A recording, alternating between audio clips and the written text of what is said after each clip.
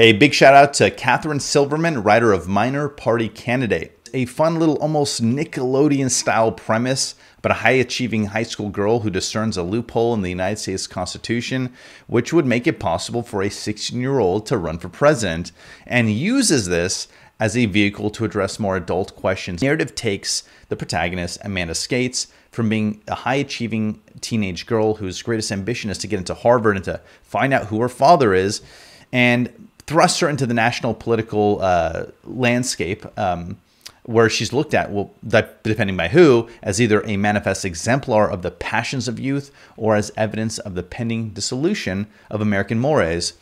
Uh, facing uh, the wringer of a national election, the only thing that can hold Amanda together is her bonds with her friends and a suspicion that she is closer than she has ever been to the truth she has long sought. Great work, Katherine.